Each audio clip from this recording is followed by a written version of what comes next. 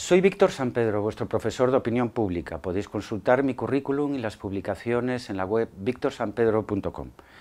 Este curso espero que aprendáis conceptos y teorías que os ayuden a pensar y decidir con fundamento y total libertad cómo expresaréis la opinión pública cuando seáis periodistas.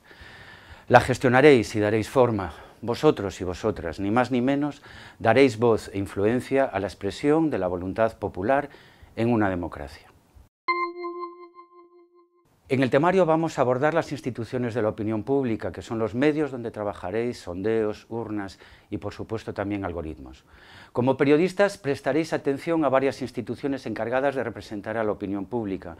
Trabajaréis en medios que cubren sondeos, elecciones y que con la comunicación digital dependen de algoritmos que marcan vuestros seguidores e impactos en la red.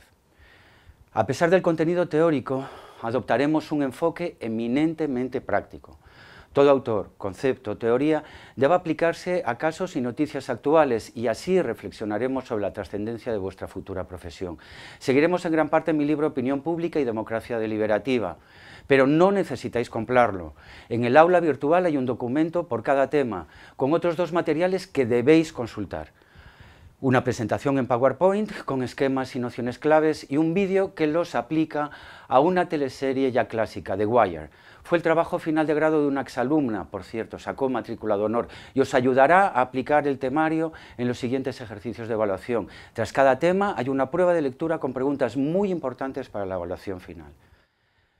Los tres bloques o módulos que vamos a abordar son tres. En primer lugar, quién, cómo y dónde se expresa la opinión pública, las estrategias para representar la opinión pública y el poder para expresarla en los medios, y por supuesto los efectos de los medios, de vuestro trabajo, sobre la opinión pública.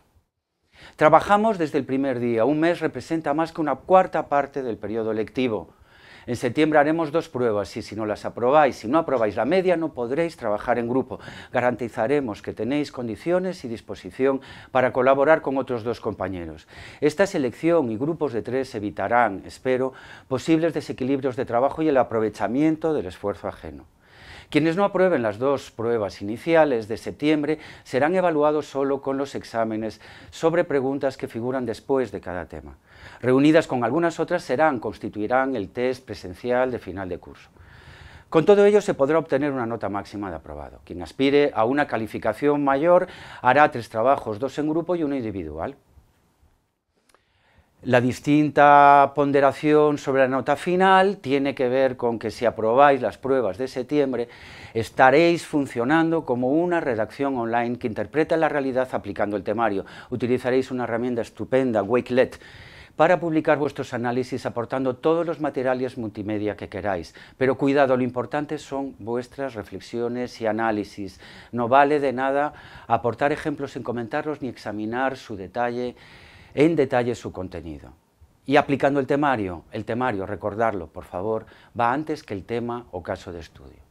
Al ser algo novedoso, los ensayos van creciendo en peso sobre la nota final hasta llegar al ensayo individual en el que aplicaréis esta metodología a todo el temario.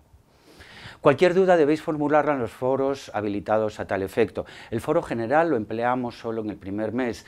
Al avanzar el curso acudiremos a foros específicos para cada una de las pruebas y a través de ellos os ayudaré y os ayudaréis entre vosotros compartiendo preguntas y respuestas en común, garantizando así la igualdad de oportunidades. A través del correo, por favor, trata solo cuestiones personales y, por supuesto, solicita las titorías. Pero insisto, las dudas sobre la asignatura, evaluación y contenidos debes plantearlas en los foros.